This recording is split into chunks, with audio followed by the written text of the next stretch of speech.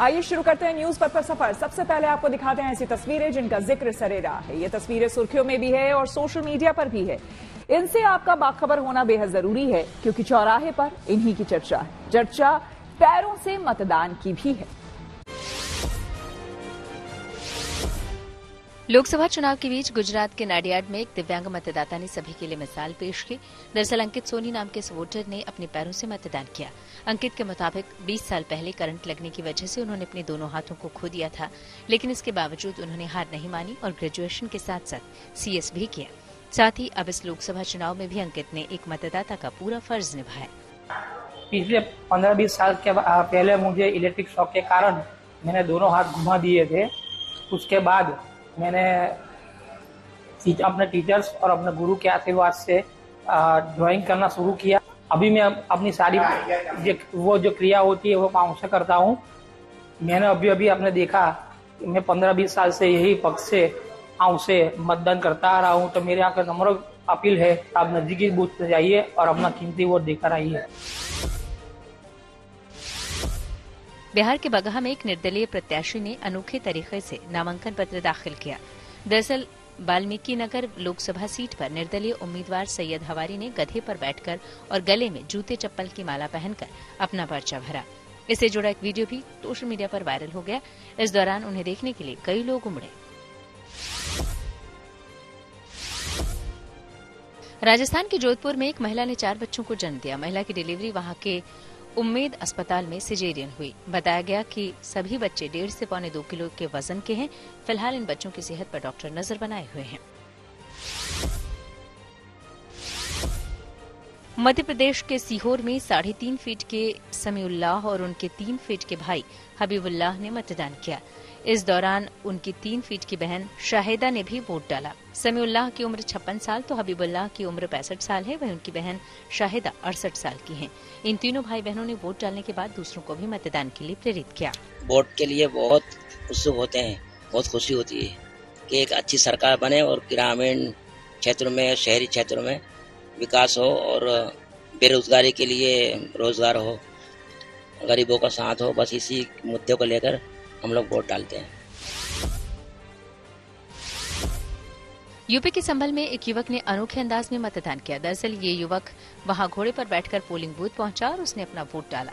इस युवक ने बताया कि वो अलग तरीके से वोट करना चाहता था। देश के विकास के लिए देश की तरक्की के लिए। और? और मतलब हमारा नया नेता आए हैं वोट डालने के लिए। ज़िंदगी का सफ़र सुहाना हो इसके लिए सावधान रहना ज़रूरी है। रोज़मर्रा की आपाधापी में कुछ देर बैठकर सोचना समझना भी ज़रूरी है कि आपके आसपास क्या हो रहा है। और जो कुछ हो रहा है, उससे हमारी ज़िंदगी, हमारा परिवार कैसे प्रभावित हो सकता है। इसलिए हॉर्न बजाकर बाखबर करने वाली खबर ज़रूरी होती है।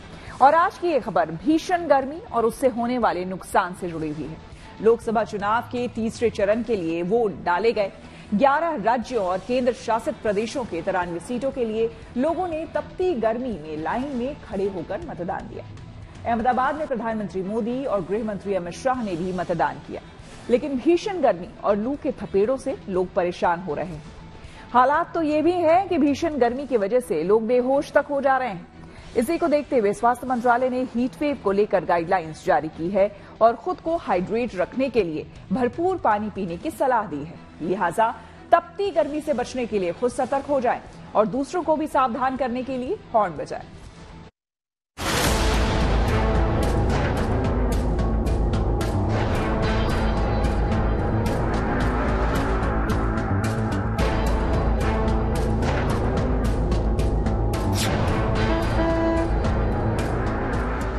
मई के महीने में गर्मी ने अपना रंग दिखाना शुरू कर दिया है। बदन को जलाने वाली चिलचिलाती धूप और गर्म हवा के थपेड़ों में अब बाहर निकलना मुश्किल हो गया है। बाहर ऐसी लू चल रही है, मानो सूरज गुस्से में बैठा आग उगल रहा। ऐसे में कौन घर से बाहर निकलना चाहता है?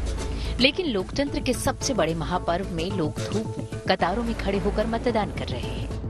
लोकसभा के तीसरे चरण के लिए 11 राज्यों और केंद्र शासित प्रदेशों की तिरानवे सीटों के लिए वोट डाले गए सुबह सुबह प्रधानमंत्री मोदी और गृह मंत्री अमित शाह ने भी अहमदाबाद में मतदान किया। साथ ही लोगों से रिकॉर्ड मतदान की अपील भी की। मैं इसमें योगदान देने वाले एक लोकतंत्र के महायज्ञ में जो भी जितनी आहुति दे रहा है, सब अभिनंदन के अधिकारी हैं। मैं फिर से देशवासियों को यही कहता हूँ कि आज गुजरात में और जहाँ जहाँ चुनाव का मतदान का दिवस है, बहुत भारी मात्रा में मतदान करें, लोकतंत्र के पर्व को मनाएँ। अप्रैल में गर्मी के मौसम की शुरुआत से ही इस बार हीट वेव यानी लू चलने लगी है। सात चरणों के चुनाव में मंगलवार को तीसरे चरण के लिए वोट डाले गए। इस चुनावी प्रक्रिया पर भीषण गर्मी और लू का प्रभाव साफ़ दिख रहा है। पहले दो चरण में कम मतदान ने आयोग के साथ पार्टियों को भी चिंतित कर दिया है। दिल्ली समेत देश भर के कई राज्यों में पारा 40 डिग्री सेल्सियस पार कर गया है। अगर ऐसा ही मौसम रहा तो आने वाले दिनों में डिहाइड्रेशन के मरीजों की तादाद बढ़ सकती है।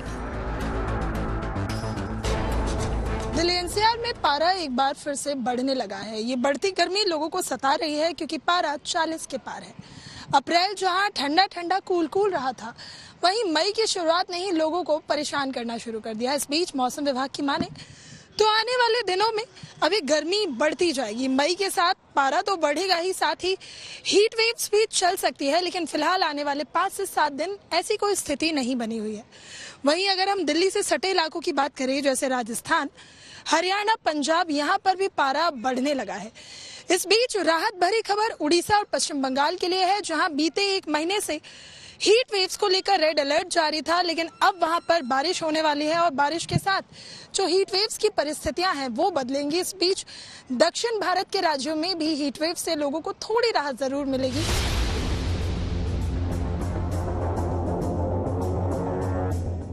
हीट वेव के बढ़ते हुए प्रकोप को देखते हुए केंद्रीय स्वास्थ्य मंत्रालय ने गाइडलाइन जारी की है। स्वास्थ्य मंत्रालय ने सोशल मीडिया एक्स पर एक पोस्ट शेयर किया है। इस पोस्ट के ज़रिए हेल्थ मिनिस्ट्री ने लोगों को हीट वेव से बचने के लिए खुद को तैयार करने को कहा है। साथ ही, अगर गर्मी के चलते आपको घबराहट जैसा कुछ भी महसूस हो रहा है तो खुद को हाइड्रेट रखने की सलाह दी है। खूब पानी पीने लूज कपड़े पहनने, ठंडी जगह पर रहने को कहा है। इसके अलावा अगर कोई बेहोशी की अवस्था में हो तो उस स्थिति में उसे उसी वक्त पानी न पिलाने का निर्देश दिया है। एक्सपर्ट्स की माने तो बेहोश व्यक्ति को पानी निगलने में दिक्कत होती है। ऐसे में ये पानी पेट की बजाय लंग्स में प्रवेश कर सकता है। ऐसे में उस व्यक्ति को सांस लेने की तकलीफ़ हो सकती है। साथ ही उसे निमोनिया होने का भी खतरा बढ़ सकता है। अगर व्यक्ति को पानी या फ्लूइड गलत तरीके से दिया गया है तो ब्लड स्ट्रीम में इलेक्ट्राइट्स का असंतुलन पैदा कर सकता है। इससे हार्ट संबंधी दिक्कतें हो सकती हैं। इसके अलावा व्यक्ति के बेहोश होने का असली कारण क्या है, इसे पता लगाने में भी देरी हो सकती है। ऐसे में बड़ा सवाल है कि गर्मी से अगर कोई व्यक्ति बेहोश हो गया तो उस वक्त क्या करना चाहिए? अगर कोई बेहोश हो तो इमरजेंसी की सिचुएशन में व्यक्ति के सिर को धीरे से एक तरफ़ झुकाकर और टुड्डी को थोड़ा ऊपर उठा दें। इससे श्वसन तंत्र का रास्ता खुला रहेगा। वहीं बेहोश व्यक्ति को अगर उल्टी हो रही है तो ये पोजीशन उसका दम घुटने से बचाता है। इस दौरान ये ध्यान रखा जाना चाहिए कि बेहोश व्यक्ति सांस ले पा रहा है या नहीं। अगर सांस नहीं आ रही है तो उसे सीपीआर देने की कोशिश करें।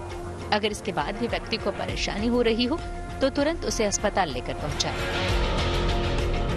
गर्मी के मौसम में बाहर निकलना तब ज़्यादा कठिन हो जाता है जब धूप के साथ साथ हीट वेव भी चल रही हो ऐसे में लू से डिहाइड्रेशन डायरिया सिर दर्द और स्किन पर घमौरिया जैसी समस्याएँ हो सकती हैं ऐसे में जब भी घर से बाहर निकले तो अपने साथ ठंडे पानी की बोतल सनग्लासेस सनस्क्रीन ORS का घोल, छाता या टोपी, सिर ढकने के लिए गमछा या तौलिया और पोर्टेबल फ़ैन ज़रूर रखें।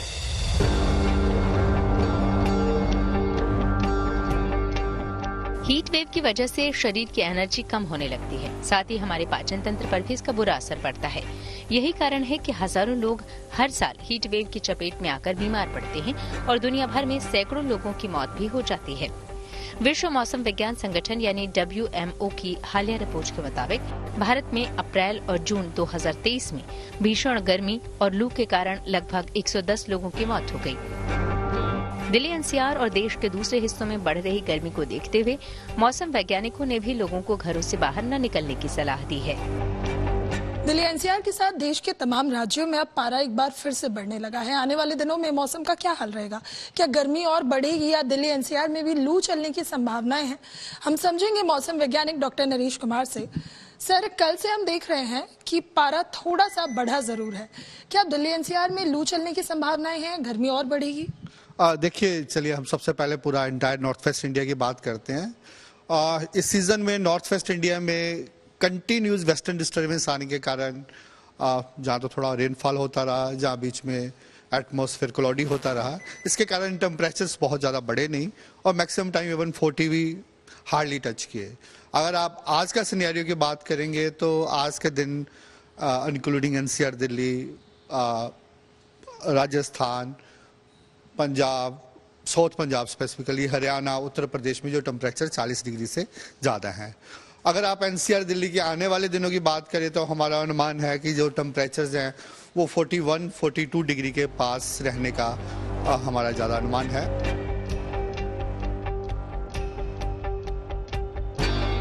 मौसम विभाग की माने तो राजस्थान मध्य प्रदेश गुजरात विदर्भ तमिलनाडु तेलंगाना और कर्नाटक के कुछ हिस्सों में हीट वेव का दौर जारी रहेगा। इसके अलावा पश्चिम बंगाल में आंधी और बारिश की संभावना जताई गई है। लिहाजा भीषण गर्मी और लू के थपेड़े से बचने के लिए खुद सतर्क हो जाएँ और दूसरों को भी सावधान करने के लिए हॉर्न बजाएँ। दिल्ली से Neetu Jha good news today गर्मी और लू के थपेड़ों की वजह से अगर कोई व्यक्ति बेहोश हो जाता है तो अफरा तफरी मच जाती है। लेकिन ऐसे में क्या करना चाहिए और क्या है विशेषज्ञों की राय? आइए जानते हैं। किसी भी मौसम में कोई भी व्यक्ति अगर बेहोश होता है, हमें कभी भी गलती से उसको बेहोश अवस्था में पानी नहीं देना चाहिए। क्यों? बिल्कुल सिंपल सा एक उसका है कि बेहोश व्यक्ति अगर होगा तो उसके, उसकी स्वेलो करने की या उसको निगलने की उसकी ताकत नहीं होगी। और ये जो हमारा दिया हुआ जो पानी होगा, वो उसकी सांस की नली में जाके उसको चोक कर देगा। जिससे कि उसकी सडनली वो बाकी और किसी चीज़ से चाहे उसको नुकसान होना हो, लेकिन इस हमारे एक्शन से, जो कि हमने विद वेरी गुड इंटेंशन हमने की है और हमने उसकी मदद करने के लिए हम आगे बढ़े हैं, वो इंटेंशन पेशेंट के लिए बहुत खराब साबित होगा, खतरनाक ही नहीं और कभी कभी उसके लिए, उसकी जान भी उस हमारे एक्शन से जा सकती है। कुलगाम में सुरक्षा बल को बड़ी कामयाबी आई। आपको सीधे लिए चलते हैं न्यूज़ एक्सप्रेसवे पर, जहाँ देश भर की कुछ और ज़रूरी खबरें कर रही हैं। आपका इंतज़ार। अभिनेता शिखर सुमन और कांग्रेस से इस्तीफा देने वाली राधिका खेड़ा बीजेपी में शामिल हो गईं। दोनों ने दिल्ली में बीजेपी मुख्यालय में पार्टी की सदस्यता ली। इस दौरान बीजेपी नेता विनोद तावड़े और अनिल बलूनी भी मौजूद रहे। शेखर सुमन ने कहा कि कल तक उन्हें ये नहीं पता था कि वो आज यहाँ बैठेंगे। शेखर सुमन की राजनीति में ये दूसरी पारी है। उन्होंने दो हज़ार नौ का लोकसभा चुनाव कांग्रेस के टिकट पर पटना साहिब सीट से लड़ा था, लेकिन तब उन्हें बीजेपी में रहे शत्रुघ्न सिन्हा से हार का सामना करना पड़ा था। लोकसभा चुनाव के तीसरे चरण के लिए भी वोटिंग पूरी हो गई। इस दौरान दिग्गजों ने भी मतदान किया। मध्य प्रदेश के पूर्व सीएम और विदिशा से बीजेपी उम्मीदवार शिवराज सिंह चौहान ने अपने परिवार के साथ सीहोर में वोट डाला। उधर गायक अरिजीत सिंह ने पश्चिम बंगाल के मुर्शिदाबाद में मतदान किया। वो स्कूटी पर अपनी पत्नी के साथ पोलिंग बूथ पहुँचे थे। जम्मू कश्मीर के कुलगाम में सुरक्षा बल को एक बड़ी कामयाबी मिली। दरअसल एक मुठभेड़ में 10 लाख के इनामी बासित डार समेत तीन आतंकियों को ढेर कर दिया गया। बासित ने पिछले पाँच साल में वहाँ कश्मीरी पंडितों और बाहरी लोगों को निशाना बनाया था। वो लश्कर से जुड़े आतंकी संगठन, टीआरएफ का कमांडर था। गुजरात के महिसागर में एक दूल्हे ने शादी से पहले मतदान का कर्तव्य निभाया। नयन भाई डामोर ने बग्घी पर बैठकर वोटिंग करने पहुँचे। इस दौरान नयन भाई के साथ उनके पिता जयसिंह भाई डामोर और माँ लाडूबेन भी मौजूद रहीं। उत्तराखंड में भगवान केदारनाथ की डोली फाटा पहुँच गई। इस दौरान वहाँ बड़ी संख्या में श्रद्धालु मौजूद रहे। जगह जगह बाबा की डोली का जोरदार स्वागत किया गया। अब बुधवार को डोली यहाँ से अपने अगले पड़ाव गौरीकुंड के लिए प्रस्थान करेगी। केदारनाथ की ये डोली अपने शीतकालीन गद्य स्थल ओंकारेश्वर मंदिर से केदारनाथ के लिए रवाना हुई थी। बाबा केदारनाथ के कपाट दस मई को खुलेंगे।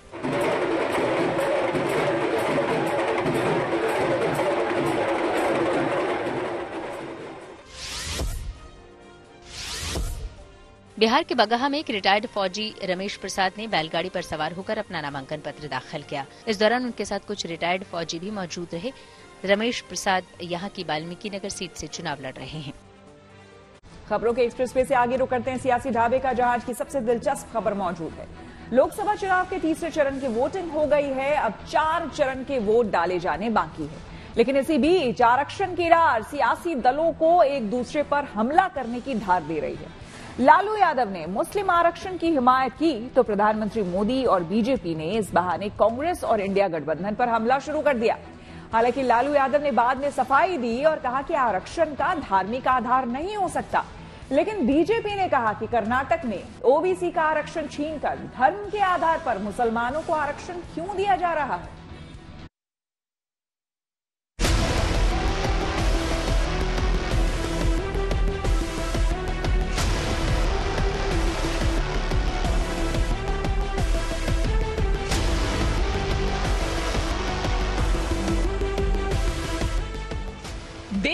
रहे लोकसभा चुनाव के तीसरे चरण में 11 राज्यों और केंद्र शासित प्रदेशों की तिरानवे सीटों के लिए वोट डाले गए।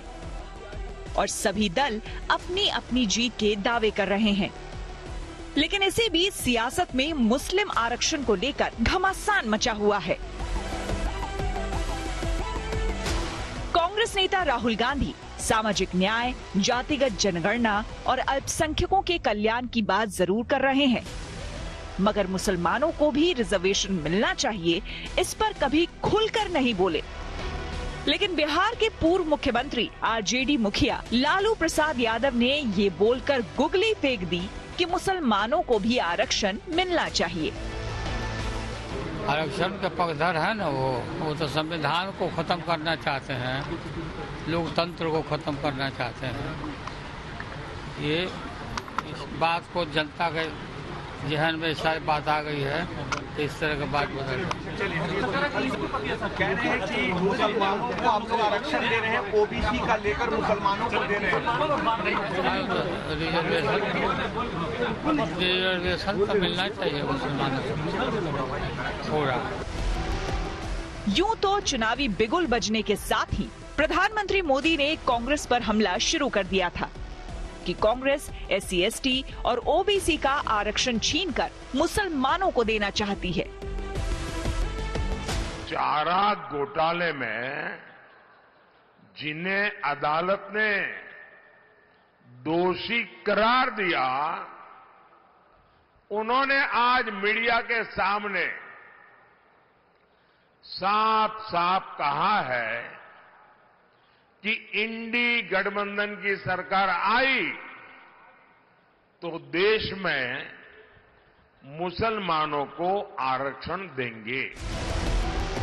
प्रधानमंत्री मोदी और बीजेपी के हमलों को तेज होता देख लालू ने मुस्लिम आरक्षण मुद्दे पर सफ़ाई पेश की लेकिन वो बीजेपी पर हमला करने से नहीं चूके। मंडल कमीशन मैंने लागू किया था। हम आरक्षण सामाजिक आधार होता है, धर्म आधार नहीं होता है। अटल बिहारी वाजपेयी जी ने संविधान समीक्षा आयोग बना दिया था। और ये लोग यही चाहते हैं ये लोग कि ये ये जो थर्ड फ़ेज़ का जो चुनाव हो रहा, पूरा खुजली, इनको खुजला रहा दे इनका। मुस्लिम रिजर्वेशन को लेकर लालू ने तो सफ़ाई दे दी, लेकिन बीजेपी को एक नया चुनावी हथियार मिल गया। कांग्रेस हो, सपा हो, आरजेडी हो, डीएमके हो, ये सभी नेशनल कॉन्फ्रेंस हो, ये सभी एक ही थैली के चट्टे बट्टे हैं, जिनकी भावनाएँ हिंदुओं के विरोध में जाती हैं, भारत की आस्था के विरोध में जाती हैं, जिनका चरित्र तुष्टीकरण की नीति को पोषक करने वाला, ऐसे लोगों से इससे ज़्यादा उम्मीद नहीं की जा सकती है। जो आरक्षण की मूल भावना थी उससे खिलवाड़ हुई है। भारतीय जनता पार्टी और भारतीय जनता पार्टी के लोग कभी नहीं चाहते कि पिछड़े दलित आदिवासी हक सम्मान पाए। इसीलिए वो संविधान से छेड़खानी की तैयारी है। आप खुद जानते हैं कि जनरल में लोग जा, पहुँच जाते थे। जनरल में क्यों नहीं अब पहुँच पा रहे पिछड़े और दलित तो आदिवासी? ये किसने पाबंदी लगाई किसने रोका? उधर कर्नाटक में लागू मुस्लिम आरक्षण पर कांग्रेसी खेमा अपनी दलील दे रहा है। कांग्रेस का आरोप है कि बीजेपी मुस्लिम आरक्षण पर लोगों को गुमराह कर रही है। कांग्रेस पार्टी ने जो आरक्षण दिया है कर्नाटका में, जिसकी आलोचना कर रहे हैं प्रधानमंत्री और गृह मंत्री ये सामाजिक और आर्थिक पिछड़ापन के आधार पर दिया गया है। धर्म के आधार पर नहीं, सर्वे किया गया। किस तरह से वो सामाजिक और आर्थिक पिछड़ापन है उनको और इस समाज को तीन हिस्से में बांटा गया बैकवर्ड रिलेटिवली मोर बैकवर्ड और मोस्ट बैकवर्ड और उसके आधार पर आरक्षण दिया गया है। असली सवाल यह है कि प्रधानमंत्री इस पर कुछ बोलते नहीं हैं गृह मंत्री इस पर कुछ नहीं बोलते हैं। लोकसभा चुनाव के तीन चरणों की वोटिंग हो चुकी है। अभी चार चरणों की वोटिंग बाकी है। लेकिन मुस्लिम आरक्षण को लेकर सियासी घमासान और तेज होता जा रहा है। बीजेपी और कांग्रेस सहित बाकी दल एक दूसरे पर हमलावर हैं। लेकिन सवाल है कि क्या मुस्लिम आरक्षण का ये सवाल मतदाताओं पर असर डाल पाएगा? या वो अपने मूल मुद्दों को लेकर ही ईवीएम का button दबाएँगे? Bureau report, good news today. News पद पर आगे है धन बाज़ार, जहाँ शेयर बाज़ार से लेकर कारोबार तक की सभी अहम खबरें होती हैं और इसका सीधा रिश्ता आपकी आमदनी आपकी जेब से होता है। तो तेज रफ्तार खबरों के बीच ये ज़रूरी खबरें छूट ना जाए, इसलिए सीधे आपको लिए चलते हैं धन बाज़ार। हफ़्ते के दूसरे कारोबारी दिन शेयर बाज़ार में गिरावट देखने को मिली। सेंसेक्स तीन सौ चौरासी अंक फिसल कर तिहत्तर हज़ार पाँच सौ बारह पर बंद हुआ। वहीं निफ्टी भी एक सौ चालीस अंक गिरकर बाईस हज़ार तीन सौ दो पर पहुँचा। बैंक, फार्मा और मेटल समेत ज़्यादातर सेक्टरों के शेयरों में गिरावट रही। सोने चांदी के भाव चढ़े। दिल्ली सर्राफा बाज़ार में सोना दो सौ रुपये महँगा हुआ। इसके साथ ही अब दिल्ली में दस ग्राम सोने की कीमत बढ़कर बहत्तर हज़ार चार सौ पचास रुपये हो गई। वहीं चांदी भी सात सौ रुपये महँगी हुई। अब एक किलो चांदी की कीमत पचासी हज़ार रुपये तक पहुँच गई। अगर आप गाड़ी खरीदने की सोच रहे हैं तो आपके लिए अच्छी खबर है। मारुति सुजुकी अपनी कई गाड़ियों पर भारी डिस्काउंट दे रही है। कंपनी ने ग्रैंड विटारा जिमनी इग्नेस समेत कई मॉडल्स पर ऑफ़र जारी किया है। मारुति सुजुकी की नेक्सा डीलरशिप के तहत गाड़ियों पर कैश डिस्काउंट एक्सचेंज बोनस जैसे कई बेनिफिट्स दिए जा रहे हैं। न्यूज़ पद के सफ़र में अब सोशल अड्डा का रुख करते हैं, जहाँ आज बात होगी नोएडा गाजियाबाद को मिलने वाली नई सौगात की। उत्तर प्रदेश सरकार नोएडा गाजियाबाद में नाइट लाइफ को बढ़ावा देने की तैयारी कर रही है। मीडिया रिपोर्ट के मुताबिक, एनसीआर में शामिल, यूपी के नोएडा गाजियाबाद शहरों में नाइट लाइफ का समय बढ़ाया जा सकता है। माना जा रहा है कि अगले महीने, यानी कि जून से नोएडा और गाजियाबाद में बार सुबह चार बजे तक खोलने की अनुमति दी जा सकती है। अभी नोएडा और गाजियाबाद में रात एक बजे तक ही बार खोलने की इजाज़त है। जबकि दिल्ली के साथ ही एनसीआर में शामिल हरियाणा के गुरुग्राम और फरीदाबाद शहरों में देर रात तीन बजे तक बार खुले रहते हैं। रिपोर्ट के मुताबिक नोएडा रेस्टोरेंट ओनर्स एसोसिएशन ने सुबह चार बजे तक बार खोलने की परमिशन मांगी है। इस मामले में उत्तर प्रदेश एक्साइज कमिश्नर ने पाँच सदस्यों की एक कमेटी बनाई है, जो कि पंद्रह दिन में अपनी रिपोर्ट सौंपेगी। नोएडा के डिस्ट्रिक्ट एक्साइज ऑफिसर ने माना है कि नोएडा गाजियाबाद में अभी लोग देर देर रात तक पार्टी नहीं कर पाते और इसके लिए उन्हें दिल्ली या फिर गुरुग्राम जाना पड़ता है। ऐसे में नाइट लाइफ के घंटे बढ़ाने से नोएडा, गाजियाबाद में लोगों को देर रात तक पार्टी करने की सुविधा तो मिलेगी ही। साथ ही सरकार का राजस्व भी बढ़ेगा। इसके साथ ही excise department Noida greater Noida में बने आईटी पार्क्स के फ़ूड एंड बेवरेज आउटलेट्स को परमानेंट लिकर लाइसेंस देने की तैयारी में है। एक्साइज ऑफिसर ने बताया कि आने वाले समय में जेवर एयरपोर्ट बनने से शहर में कई बड़ी कंपनियाँ आएँगी। कई लोग जॉब पर रखे जाएँगे। ऐसे में नाइट लाइफ में सुधार की ज़रूरत होगी। जानकारी के मुताबिक साल 2023-24 में गौतम बुद्ध नगर का एक्साइज रेवेन्यू 1975 करोड़ रुपए था। एक्साइज ऑफिसर ने कहा कि अगर कमेटी की सिफारिशें लागू हुई तो अगले साल गौतम बुद्ध नगर के एक्साइज रेवेन्यू में 40 से 45 फ़ीसदी की बढ़ोतरी हो सकती है। ज़ाहिर है, नोएडा और गाजियाबाद शहरों में नाइट लाइफ के घंटे बढ़ने से यहाँ रहने वाले लोगों की लाइफ और हैपनिंग हो जाएगी। इस मुद्दे पर हमने कुछ लोगों से बात की और उनकी राय जानी। अब जिस तरीके का एक सरकार फैसला लेने वाली कि आने वाले समय पर जितने भी बार्स है नोएडा में, वो चार बजे तक खुलेंगे। इस पर आपका क्या विचार है? मुझे नहीं लगता ये सही फैसला है सरकार का। चार बजे तक अगर बार खुलेंगे तो वो लोग पाँच छः बजे तक सोएँगे और दिन उठेंगे बारह एक बजे तक। ये कम्प्लीटली अगेंस्ट नेचर मुझे लग रहा है कि पूरा लाइफस्टाइल या तो ये सेगमेंट स्पेसिफिक के टारगेट हो रहा है, या कि कुछ लोगों के लिए, क्योंकि ऑफ़िस वर्किंग टाइम डिफरेंट है, सब चीज़ के लिए टाइम है तो या तो फिर आप रात को खोल रहे हैं तो आप शॉपिंग भी मॉल भी आप खोल दो रात को कि सब लोग भी रहें। एक तो सुनसान हो जाती है, बारह एक बजे के बाद उस टाइम ड्रिंक करके आप सड़कों पे जा रहे हैं तो मुझे नहीं लगता उतना पॉजिटिव सरकार का ये है। दिल्ली का थोड़ा सा डिफरेंट है और नोएडा की बात करें तो और भी बहुत सारी बच्चे जाते हैं फैमिली में छोटे छोटे बच्चे भी जाते जो भी होते हैं तो उन सबको दिक्कत होगा। जैसे गर्ल्स भी जाती है तो देर लेट नाइट आना, अकेले फिर जाना, बहुत सारी चीज़ें हैं रिस्क है। कल कोई बात हो जाए एक्सीडेंट हो जाए, कौन देखे? बहुत सारी चीज़ें हैं। तो प्रॉब्लम तो है। रेवेन्यू एक अलग चीज़ है। अगर बिज़नेस पॉइंट ऑफ़ व्यू से बात करें तो वो तो एक अलग चीज़ हो गई। बट हम बिज़नेस पॉइंट ऑफ़ व्यू से बात नहीं करेंगे। हम लाइफ स्टाइल के बारे में बात करेंगे। अगर सपोज़ इट हम चार बजे तक हम नोएडा में नाइट लाइफ जिएँगे तो उसमें क्या होगा कि उनकी लाइफ स्टाइल ख़राब हो जाएगी। एक तो वैसे ही एम्प्लॉयमेंट का बड़ा वो चल रहा है मार्केट में। तो उसके बाद अगर वो जॉब पर नहीं जा पाएँगे तो फिर उनकी सैलरी कट्स बहुत सारी चीज़ें आती हैं। तो बहुत सारी चीज़ें देखनी पड़ेंगी बहुत सारे इश्यूज़ फेस करने पड़ेंगे और फिर एक्सीडेंट वगैरह भी होएँगे तो बहुत सारी चीज़ें हैं। मेरे हिसाब से वो गलत है क्योंकि इससे एक्सीडेंट केसेस बढ़ेंगे रेपिस रेप केसेस बढ़ेंगे लड़कियों लड़कियाँ सेफ़ नहीं रहेंगी तो मेरे हिसाब से तो ये ठीक नहीं है। आई थिंक कि दो बजे is a very good timing but चार बजे बहुत ज़्यादा रिस्की है क्योंकि रोड पे एक्सीडेंट भी होते हैं और पुलिस के not always go there and अपना लाइन ऑफ़ एक्शन नहीं कर सकते तो इसलिए इट्स बेटर कि दो बजे तक एक टाइम लिमिट सेट करके रखें। ऑनलाइन फर्जी लोन ऐप पर अलर्ट। जी हाँ टेक्नोलॉजी से जुड़ी ऐसी ही हर एक ज़रूरी खबर को जानने, समझने के लिए आइए चलें डिजिटल गाड़ी सरकार ने ऑनलाइन लोन से जुड़ी एक ऐप को लेकर अलर्ट जारी किया। गृह मंत्रालय से जुड़े एक सोशल मीडिया हैंडल साइबर दोस्त ने चेतावनी जारी की। इसके मुताबिक fin score, credit score, manager app से दूर रहें। ये एक फर्जी ऐप है। और इसमें विदेशी लिंक की संभावना है। सरकार का कहना है कि इस ऐप से किसी भी तरह का लोन ना ले और ना ही क्रेडिट स्कोर चेक करे। साइबर दोस्त हैंडल के ज़रिए सरकार साइबर अपराधों पर जागरूकता का काम करती है।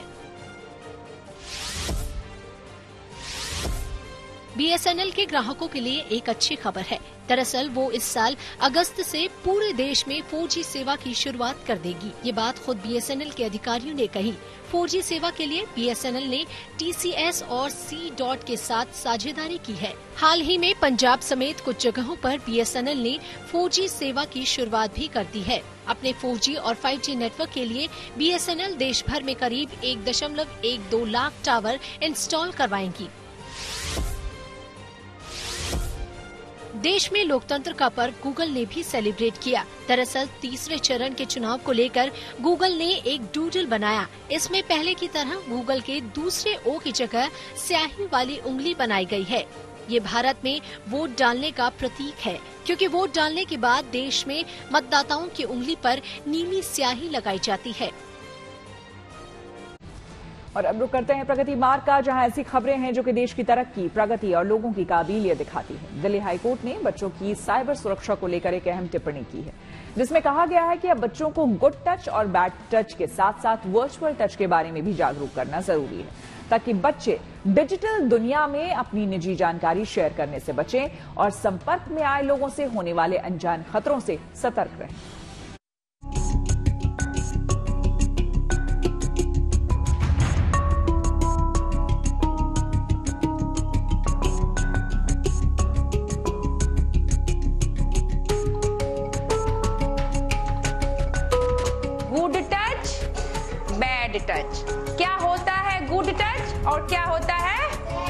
टच अब तक आप गुड टच और बैड टच के बारे में सुनते आ रहे हैं। बच्चों को बताते, समझाते आ रहे हैं। स्कूलों में भी इसे पाठ्यक्रम के तहत शामिल किया गया है ताकि बच्चे सुरक्षित रहें।